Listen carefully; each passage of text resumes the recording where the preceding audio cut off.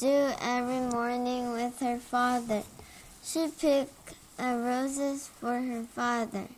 Seven, eight. Why doesn't Marigold's father listen to her? He because he was busy counting gold. Gold. Ten. What did happen to Marigold and her father one morning? Some person came and gave a chance to change everything to a gold and Midas when Midas touches. 11. What did King Midas wish in the garden? 12.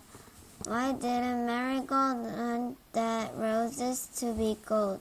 Because she might can smell roses roses scent.